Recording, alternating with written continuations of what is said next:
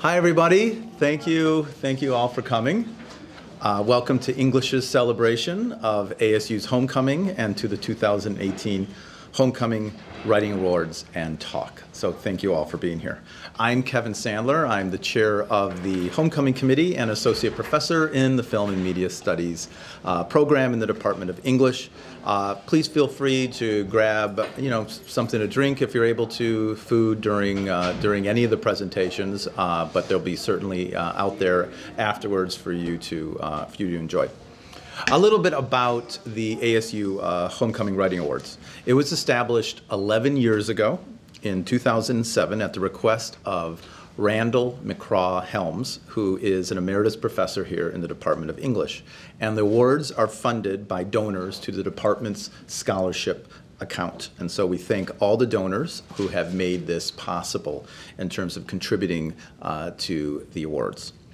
This year, the awards are given in four categories poetry, fiction, creative nonfiction, and scholarly essay. And we'll hear from all the winners uh, today.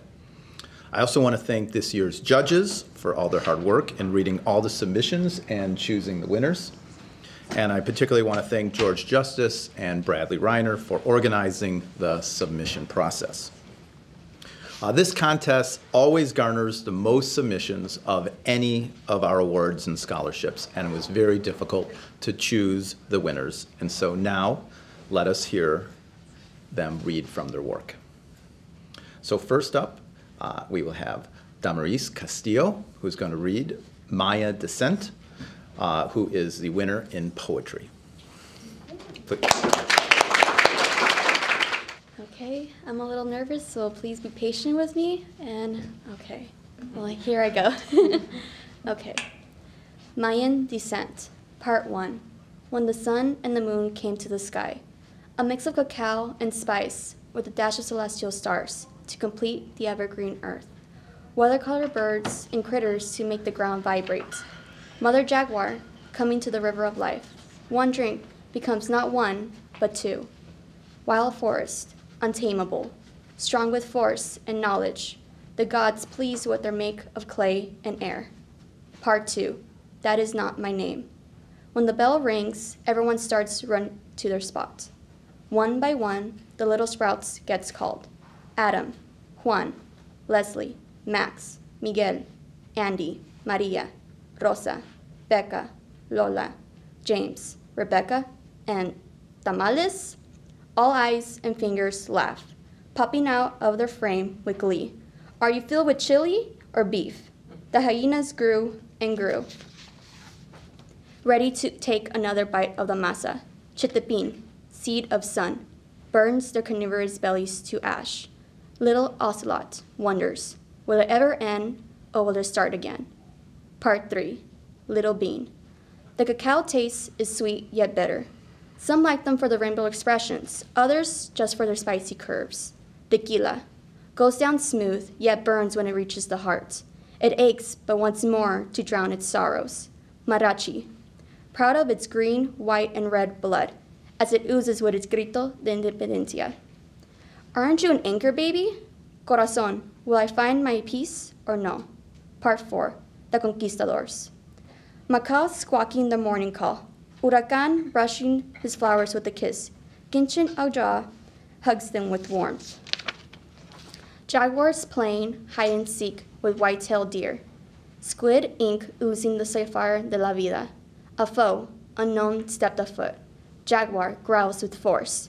Slash of the knife to hold the native's tongue. You will learn English. A fling of the claw, the feline pounces. Done with enslavement, done with following, done with hiding, devouring its laws, insults, and threats. The taste of Jamaica bitter yet sweet. The puzzle is complete. You will never destroy my roots. That's Mayan Descent. Thank you. Next up, the winner of the Scholarly Essay Award is Emily Gadberry, and she will read from As Long as the Love Remained Land as Catalyst for Healing and Transformation in Ceremony.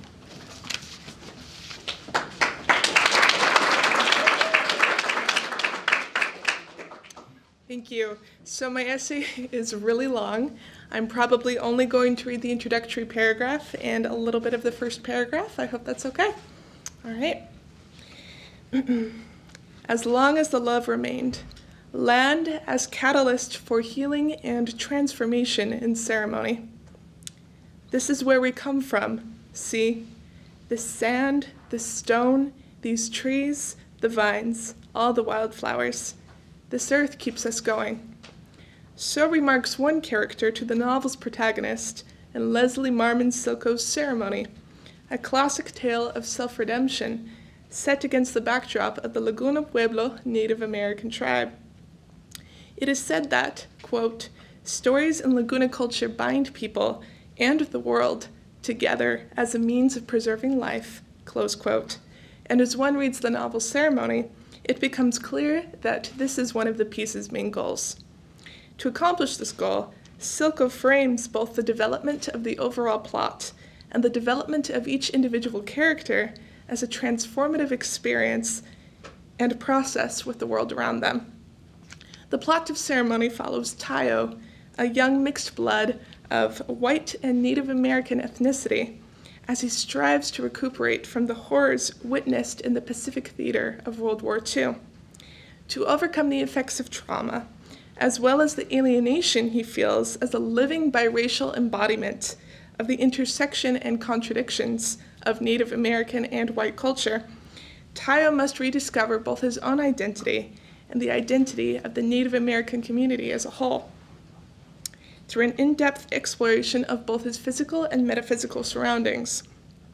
By engaging in this process, Tayo transforms from a broken individual in all possible ways at the novel's beginning to an individual who can approach life with a sense of coherence and wholeness by the story's end. Overwhelmingly, this wholeness stems from the development of Tayo's relationship to the landscapes in which he finds himself. Native American spirituality is integrally tied to the landscape. As Paula Gunn Allen states, quote, the fundamental idea embedded in Native American life and culture in the Southwest is the earth is the mind of the people, as we are the mind of the earth. It is a give and take relationship between individuals and landscapes, and one that has significant power to bless both sides. Throughout the novel, one perceives the benefits of Tayo's transformative relationship with land in three forms. The first benefit is self healing through the realization of new paradigms of life, which Tayo comes to understand through his relationship with land under more experienced guidance. The second benefit is the ability that Tayo gains to a certain extent to heal the land, based on his forays to restore balance in a variety of ways. Finally, the third benefit that Tayo gains through his positive interactions with landscape extends to those around him, as he is able to use his own healing to become a positive tradition bearer and influence on members of the overall community. Before Tayo enlists in the war, he has lived a life that, overall, has been guided by respect and appreciation for the traditions of his forefathers. When he and his brother Rocky hunt deer together, it is Tayo who believes that, quote, the deer gave itself to them because it loved them, and he could feel the love as the fading heat of the deer's body warmed his hands. Close quote. However, after he returns home from the horrendously traumatic war, he begins to interact with landscapes on a more perfunctory level. From caring for the ranch to traversing its roads with war comrades in search of temporary pleasures, he utilizes his surroundings to accomplish his own personal ends. It is only when he seeks out those who possess a different form of knowledge as a way to cure his sickness that he begins to perceive his most instinctual need. This need is to reevaluate his, as well as everyone else's, relationship with land. Thank you. Uh, next up, the winner for creative nonfiction, Mayra Vasquez Chavez for Por Mi Madre.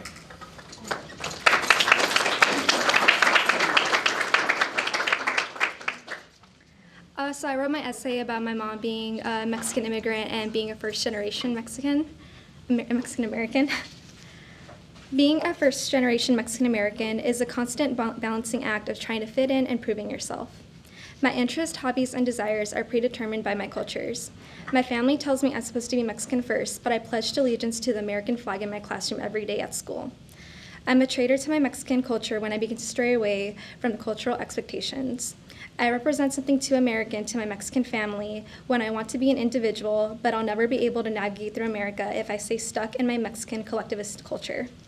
I was too Mexican for Americans and too American for Mexicans. My identity became a jigsaw puzzle that was formed based on expectations rather than inspirations. The pressures and expectations of being a first generation Mexican American contradict themselves. No one is rooting for you to succeed, but there's also no room for failure. It feels like the world is on my shoulders to make the people around me proud, especially when I've been granted this opportunity by my mother to live out the dreams that she couldn't. But there wasn't a guide or tutorial in dealing with conflicting cultures and practices. I couldn't say I was literate in being Mexican or American when I wasn't sure what being Mexican or American meant. I know my family is from Mexico and I was born in America, but did these titles grant me anything more than expectations or stereotypes to fit into? I feel like I perform the cultures as a cover up instead of living it. I am one of the first in my family to experience American culture while simultaneously being surrounded by a vastly different Mexican culture. I've had to create my own path with the burdens of creating an identity that I wasn't sure was truly my own. Not fulfilling the practices and beliefs of Mexican American culture outcasted me within the communities I was part of. But as I've grown and experienced moments in my life, I have learned that I'm not restricted to anyone's expectations. These identities are titles and are a part of me, but they're not my only identity trait. Next up, the winner for fiction, Miranda Williams, The Gardener's Son. Hi everyone, thank you all for coming. I'm only going to read the first three pages because it is quite long, um, and so I'll just start. It was two days after his father got arrested when Elijah's mother finally lost it. He had awoken to her screaming, but it was not directed at him as one would expect at nine on a Sunday morning when he had yet to get dressed for church. Now he stood behind the sliding glass door, staring at its smudged pane as he watched his mother strip the cherry trees of their branches, ripping them limb by limb until they were nothing but leaves scattered on the ground and pillars of empty wood. Cherries fell onto the pathway that trailed through the backyard, and his mother trampled them. Their flesh burst on the cement, staining it a dark crimson. Elijah's little sister Esther looked next, lurked next to him, with eyes widened to the size of 50 cent pieces, and under them, tired gray circles bloomed on her pale skin. Their mother's hair flailed around in the windless summer air, and she continued mutilating the tree, and the small muscles in her thin arms bulged. She was mesmerizing and horrific, like an angry goddess. An uncomfortable feeling, one that made vomit brew in Elijah's stomach and his, hand turned his hands turned cold, settled into his skin. There was a massacre unfolding in front of him. Elijah looked at Esther to see a few tears roll down her cheek. An ache emerged in his throat, and he brought his right hand to cover her eyes. And she should have pushed him away, like younger siblings do. But Esther only turned to rest her head on Elijah's shoulder. She sobbed, just identifiable by the slightest of hiccups and the droplets that birthed scattered spots of wetness on Elijah's shirt. At 13, his sister was only two years younger than him. Their father had assaulted a girl Esther's age, Julie Byers. They didn't know if it had happened more than once or exactly how much damage was inflicted. Elijah could only imagine him lifting up her light pink training bra and pulling down flower printed panties. She had probably left with violent, with violet bruises on her hips and an ache between her legs, and he, crescent moon cuts along his wrists and red, swollen lips. I was supposed to go to her birthday party next week, Esther said, burying her head deeper into his skin. He was glad that Esther didn't say Julie's name, and a shaky, anxiety ridden breath escaped his lungs. He could feel Esther's tears mixing with the sweat on his neck, Esther turned her head to look out the glass door once again. I wish you would just stop it, she continued, in a, in a voice muffled by cloth and crying. I know, Elijah replied. Mom's just angry. He wanted to mention that he was too, but it didn't feel like the right time, nor did it feel truthful. Elijah really only felt sort of sad and sort of nothing. He placed his hands on Esther's back as he embraced her, glancing up to see that his mother had ended her rampage and was now staring at them. She was a wild animal who had just been caught ransacking the garden. Wide eyes, bloodshot and glossy, her hair a tangled whirlwind, and bare feet now coated in a layer of red juice and dead grass. Esther stepped back, and Elijah met her eyes. She had all their mother's features earth colored hair that fell in waves, thin nose, honey eyes, milky skin, and mirrored her even more so with the tears still dripping like a leaky faucet. Elijah resembled their dad. He hadn't been able to look at his own autumnal hair in the mirror for the past two days. Their mother was walking towards them with her head jerking from the direction of the sidewalk to either fences on the left and right side of the yard. Esther's hand crossed over her thin waist to hold her left arm. Dad's going to hell, she said. Elijah stiffened. The comment pierced him in a way that was sharp and distinct. It was what they had all been thinking, but he hadn't expected to be confronted with the thought so soon, and especially not by Esther. He rolled his shoulders back and took a breath that felt unstable in a way, like he was putting more supports on a house that would surely fall. Okay, he said, just as their mother made it to them. His mother opened the sliding glass door, and both Elijah and Esther stumbled backwards so that she could step into the house.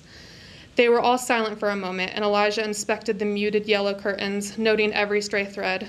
The room was bloated, stuffed with warm, sticky air, and a buzzing fly made circles around the kitchen table. The, the stare of their mother wore Elijah down like prison shackles. With reluctance, he met her gaze. What on earth are you two doing? Go get ready for Sunday school, she said, ignoring their raised eyebrows and parted lips. She hurried past them and started towards her bedroom. The old lino- linoleum floors groaned under her feet, and Elijah started to speak. But, and y'all stop looking at me that way. You didn't care nothing of your father's garden bef- no time before. Go get ready.